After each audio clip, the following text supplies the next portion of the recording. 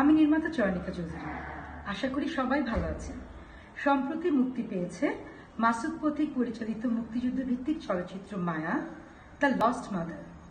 আমি অনুরোধ করব ছবিটি অবশ্যই অবশ্যই সব ঢাকার বন্ধুরা শ্যামল এবং বলাকা হলে গিয়ে দেখবেন এবং বাংলাদেশে যেখানে যেখানে ছবিটি মুক্তি পেয়েছে সবাই হলে গিয়ে দেখবেন। মায়া চলচ্চিত্র প্রতি আমার রইল অনেক অনেক শুভকামনা এবং মঙ্গল কামনা। আসুন আমরা সবাই বাংলা চলচ্চিত্রের সাথে থাকি। এবং হ্যাঁ আমার নির্মিত চলচ্চিত্র বিশ্বসুন্দরী দেখতে অবশ্যই অবশ্যই ভুলবেন না।